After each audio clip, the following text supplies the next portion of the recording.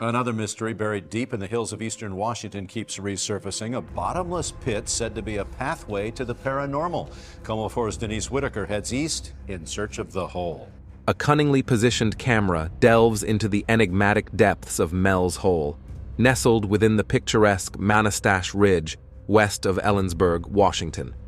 Red Elk, a Native American shaman or medicine man, tells me his dad first showed him the hole in 1961.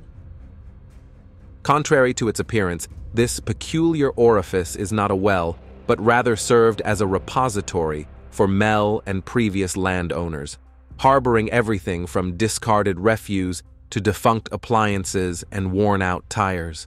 It's an underground base, a very small. Despite the ceaseless influx of detritus, the cavity remained eerily vacant, sparking Mel's curiosity about its concealed secrets. Even his faithful canine companions shied away from its vicinity, while cryptic messages flickered across his radio waves, hinting at a subterranean realm beyond his comprehension. The mystique surrounding Mel's hole captivated the imaginations of many, spawning myriad tales and conjectures that seized the public's attention. In 2017, a brave group of researchers embarked on a daring expedition to unveil the mysteries concealed within Mel's uncanny chasm. Armed with determination and resolve, they located the elusive cavity, only to be confronted with a revelation that defied comprehension. As their camera descended into the void, they beheld a sight that sent shivers down their spines and compelled them to hastily retreat, recognizing the imminent peril lurking within. Join us on a captivating journey to unravel the enigma of Mel's Hole. Explore the chronicles of intrepid researchers who ventured into the unknown in pursuit of elusive truths, driven by an unwavering conviction that answers lay buried within the depths awaiting discovery. A circular hole with a diameter of 9 feet 9 inches surrounds Mel's Hole, creating a stunning sight. The wall is made of strong stone and gently falls about 15 feet before disappearing into the abyssal darkness below. This mysterious event is made even more interesting by the fact that Mel Waters and his wife like to put things in the pit, and their neighbors have been doing the same thing for years before Mel arrived. In fact, people in the area couldn't remember a time when the hole wasn't strangely there. The eerie silence that meets things falling into it is what confuses everyone who sees it. There are no echoes or any other sign of a bottom. Because she was interested and determined, Mel Waters set out to find out what was hidden behind this abysmal mystery. He planned a risky experiment because he loved fishing and had a lot of fishing lines. Putting a weight on the line and lowering it into the void, he was shocked when it kept going down and went all the way to a depth of 4,500 feet, the length of the reel, without hitting any solid ground. Even though this shocking news didn't stop Mel, she determinedly pulled it back replacing the weight with a roll of Lifesavers candy, and sent it falling back into the depths, hoping to find water at the unimaginable depths below. Even so, the Lifesavers stayed dry and unyielding when they got back to the surface, despite Mel's dreams. Mel didn't give up on his search. He connected spool after spool of fishing line and dove to depths of almost 10,000 feet without finding any sign of a bottom. Because he was so determined, he put out an amazing 80,000 feet of line, which is more than 15 miles, but the mysterious hole's secrets stayed firmly hidden. During his endless testing, Mel noticed something strange. His dogs studiously avoided the mysterious opening. When they were forced to do something, they refused, as if they could feel a scary force inside. Interestingly, the area around the hole didn't seem to have any animals or bugs in it, even though birds were flying around it. Mel was interested in this strange event, so he asked his neighbors about how their dogs behaved near the hole. What they told him was very scary. As the conversation went on, one neighbor told a scary story. He told them that his dog had died not long ago, which made him say goodbye by throwing the dog's body down the strange abyss. He was shocked when a few days later he saw the same dog walking through the woods near the house. Its collar made it easy to recognize. Even though he called the dog, it wouldn't react. It was acting like it didn't know who its owner was, casting an eerie shadow over the situation. It looks like it might be a doorway to another world. That idea grew stronger as more and more strange stories came in, weaving through the fishing line and into the abyss. As Mel got more and more involved in this strange story, he realized he was in over his head and asked for help. In 1997, there was only one real place to talk about these kinds of oddities Coast to Coast AM with Art Bell, which aired from the vast high desert of the great American Southwest. Since Art Bell's show is broadcast on hundreds of stations around the world and has 10 million loyal fans, they would be the best people to help Mel figure out what was going on. On February 21, 1997, Mel contacted Art, which led to an interesting talk that made Mel's hole famous all around the world. Over the course of several shows, Mel slowly revealed more information about the strange void. People from all over the world gave good tips, like suggesting that lasers or radar be used for measuring, but the attention also had some bad effects. Because Mel told millions of people on the radio about this mysterious hole, they now knew all about its secrets. Mel's clues dropped by accident and gave away where the hole was. But when Mel went back to his house the day after the first show, he was shocked to see that the entrance was blocked. It wasn't just any blockade, the US military was behind it. The government learned about the hole and wanted to know all of its secrets. This turned Mel's study, which had been private at first, into a high stakes game of intrigue. After the show on Friday night, Mel noticed that there were more helicopters flying around his land, and this continued all day the next day. He noticed that the hole seemed to have a strange effect on the area around it. Animals naturally stayed away from it, but plants grew like crazy, Radios close to it acted strangely, sending out static and picking up podcasts from faraway places. Then, one terrible day, Mel's radio started playing what he called old time music. He was desperately trying to change the station when he came across a broadcast of a baseball game. He watched as a first baseman's play unfolded until he realized the game had happened in 1967, 30 years ago. During Art's first hour long talk with Mel, Mel told Art that he was in Ellensburg, which is where he had made the call. While Mel was on his way back to his property, he came across a large roadblock manned by armed military people. Signs that big machines were being brought in made things even more tense. Even though Mel had been told that there had been a plane crash on the land, she found no signs of it, no reports, no fires, and no smoke.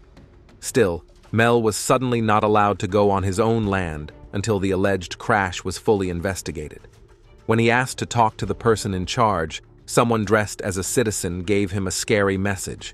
Mel might not own the land anymore. There were heavy hints that if he didn't obey, they would find a secret drug lab on the property, which cast a shadow of doubt over Mel's once calm world. Mel thought about defying the man in charge by telling the press about his situation, but the man in charge waved him off and said that no one would believe him. But he had no idea that Art Bell and his loyal fans would really listen to what Mel had to say. A few days later, Art called Mel to find out what was going on. Mel told him an amazing story. A neighbor had seen a dark beam coming from the hole and going through the clouds. It was a darkness that had never been seen before. Now, I want to make it clear that Mel did not personally see this happen. But Art Bell and many other callers said that this part of Washington was famous for UFO reports, mysterious disappearances, and many other strange things that happened. People who called in with their own ideas said they thought the hole might be where ley lines meet, opening a way to other worlds, or even time itself. They said that anything thrown into its depths just disappeared, building up in a strange heap in a different world, a place where lost things, animals in bad shape, and maybe even souls vanished. One of the many ideas that were put forward was that the hole might be a tunnel that leads to the supposedly hollow Earth. This would be like a subway connecting different worlds. As the rumors kept coming in, Art Bell, who wasn't allowed to go on Mel's land, tried to get more information from people in the area, digging deeper into the maze of mysteries that surrounded Mel's hole. An old neighbor, maybe feeling the weight of the years that have passed, told a teaser. The mysterious hole used to be surrounded by stone columns. People in the crowd warned Mel right away about the risks of telling his story on the radio. Since the government might be listening in, such revelations could have bad results that Mel didn't expect. As the show was ending, Mel promised to come back with more news. When the planned day came, however, he was noticeably missing, and his phone kept ringing. An investigative news team went to Ellensburg to find the truth, but they couldn't find the rumored hole.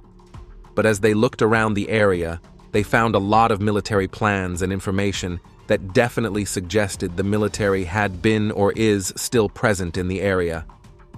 Three years later, Mel said he was offered $3 million a year to rent out his property, but there was one big catch. He had to sign a non disclosure deal, leave the country right away, and never come back. Mel took up the offer and moved to Australia for two years, drawn by the promise of financial security. That being said, though, the heart wants what it wants, and Mel found himself longing for his family. Even though people told him not to, he bravely decided to sneak back into the U.S. for a visit, ignoring the dark clouds of secret and suspicion that hung over his past. Mel called Art Bell while he was there and promised to finally tell the truth on the radio. To everyone's surprise, though, he didn't show up on the radio. When asked about his absence, Mel told a strange story. The day he was supposed to show up, he got into a fight on the bus on his way to see his nephew. After the police got involved, there was a mad rush to get on a different bus. However, as if fate were determined to throw another surprise, Mel had a blackout. She woke up 12 days later in San Francisco, lost and confused. His things were gone, his arm hurt, and when he looked closer, he saw needle marks and tape remains from an IV.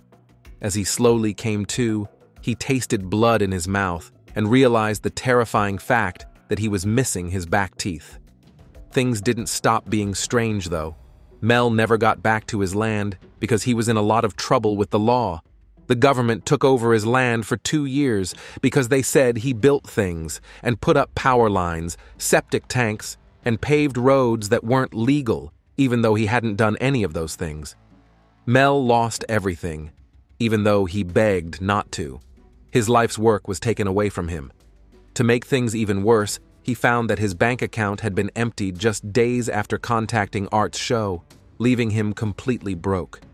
Even though doubters call in to say it's all a fake, Art Bell, the master storyteller, decides to give Mel a chance to tell his story. In the middle of all the doubt, Art drops a tempting clue. A TV crew went into the area to look for the elusive hole but couldn't find it. Instead, they came across signs of major military action, which added to the mystery of an already confusing story. To add to the mystery, the no-flee zone mysteriously grows to cover the same area, and the TerraServer, a well-known Google Earth mapping site, shows the whole area as eerily blacked out which is supported by other sources. Some callers think Mel might have made up the blacked out map area after finding it by accident, but this idea doesn't hold up under closer inspection. The TerraServer launched six months after Mel's first call, so he couldn't have known about it before. But just when it seems like the plot is getting too complicated to follow, a twist appears. A Native American tribe contacts Mel and invites him to Nevada to help them explore another hole that seems to have no bottom. Mel starts this new trip with the tribe's help, but he doesn't make it all the way there. Still, stories from Native America, the Bosque, and the mysterious pit are talked about.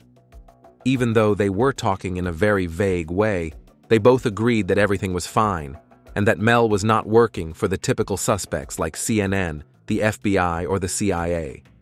As the story goes on, it becomes clearer that the mysteries surrounding Mel's hole are only a small part of a much bigger puzzle that includes both myth and fact. Mel leaves and starts a trip to find out for herself what's down in the mysterious hole. Even though he digs deeper, the main question stays the same. What's below the surface? This second hole is not on an Indian reservation like the first one. Instead, It is on public land that the Basques, an ethnic group with roots in the area between France and Spain, use. The Bosques have lived in Nevada since the middle of the 1800s and used the land to raise sheep. The Bosques say that this hole has been there forever and is regarded as a holy place for at least 200 years. Along with Mel's hole, which is just over 9 feet wide, this one looks very different. Mel's hole has a stone retaining wall, but this one has a strong metal collar whose shiny surface seems to go on forever. But what really makes this hole stand out is the strange warmth it gives off, a warmth that wraps around anyone who comes close. It's not just any metal collar, though, it's unique. Mel drops a tool on it by accident, and when it hits, there is a strange quiet. There are no sounds or vibrations, just an empty space that can't be explained. With a mix of fear and interest, Mel and the Bosks started a series of risky experiments to find out what was going on inside the hole. For the first test, they put a bucket of ice down the hole until it was about 1,000 feet deep, leaving some ice on the top as a control. As the ice on the top melted, they eagerly went to get the bucket, but to their surprise, the ice inside stayed solid, going against all the rules of nature. What was even stranger was that it had changed. It was no longer cold to the touch, and it stayed dry, with a feel like big chunks of salt. They tried to melt it over an open flame because they were interested in this strange event. To their surprise, it caught fire, and the flames stayed there for months. Sending different amounts of ice down the hole was used in later tests to get to the bottom of this mystery. Surprisingly, the ice melted as planned about two thirds of the time, but one third of the time it changed in a way that was impossible to understand. As the search for information went on, one brave Bosk offered to go down into the hole. It didn't take long for everyone to agree that this was not a good idea. Instead of using a more traditional method, they chose to send a sheep down. It was impossible to imagine how amazing the results of this brave plan would be. Get ready for what's coming next. The sheep knew something strange was about to happen, so they fought back fiercely as the crate they were in was dropped 1,000 feet. Suddenly, the fall stopped, and there was a strange humming sound that filled the air. After leaving the sheep in its underground home for 30 minutes, they finally lifted it back up, expecting to find it the same. But when they looked more closely, they saw something horrifying.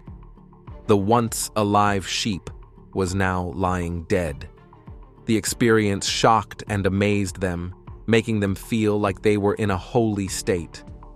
The Basque, who were very good at butchering, quickly went from being amazed to taking action. They didn't spend any time and quickly performed an autopsy on the mysterious sheep. As they looked more closely at the animal's remains, they found something shocking. It looked like the sheep had been cooked from the inside out. The biggest thing that stood out was the huge growth that filled most of its body. Reality then takes a strange turn when the growth showed signs of life and started to move, which was very scary. You did hear that, right? They decided to cut open the tumor in order to figure out what this strange finding meant. What they found inside shocked them to their core. Inside the growth, they found what Mel could only describe as a fetal seal. Picture this a thing that looked like a baby seal and was attached to the tumor by an umbilical tube. Its eyes looked a lot like human eyes. As they looked at this thing that looked like a seal, it crawled to the edge of the table and gave off a strong ozone smell. The feel of its slippery skin sent chills down their spines. The men and the creature looked at each other in a strange way for about two hours, exchanging looks of interest and wonder. Finally, the seal thing looked at the men one last time then gracefully jumped into the unknown depths of the hole and disappeared. Before Mel's trip to Nevada, he was told he only had six months to live because he had severe esophageal cancer. Still, after this out of this world experience, Mel suddenly got better from cancer. He was sure that the magical seal was the key to his unnatural recovery. Mel had an event that changed him in a way that could not be explained. As the show was coming to a close, a strong warning went out over the airwaves. The road that led to Mel's land looked dangerous, but people were told to stay away from it. Going past that point could have bad results, like going missing into the unknown and being lost forever in the mysterious secrets that surrounded Mel's hole. After a few months, Mel triumphantly returned to coast to coast, bringing with him the results of the strange ice tests. One person in the Bosque didn't know what strange things would happen when they took the melting ice to their house to stay warm. He had no idea that a strange series of events would happen. The ice that had been on fire for months took moisture from the air, so the house was always dry. Its occupant had constantly dry skin and an insatiable thirst, and even hot water took on strange properties and mysteriously turned into steam in the stove's depths. Then something unexpected happened. The stove crashed through the floor of the hut and into the ground below, still warm. As a practical matter, the confused owner fixed the floor and started to use the strange hole for heat. But this temporary fix took a strange turn a few weeks later when the whole cabin fell apart. After the event, the confused owner went to stay with his brother, but when he came back a month later, he saw something even stranger. The stove was five feet below the ground where it used to be on the ground. It's crazy that the stove created a new hole with no bottom without meaning to. Its surface is perfectly smooth. Attempts to get the stove back were unsuccessful until a huge crane came along and successfully extracted the confusing appliance from the depths below. The Bosque people said they had seen the entity, the magical seal found in the hole, which added another layer to the mystery.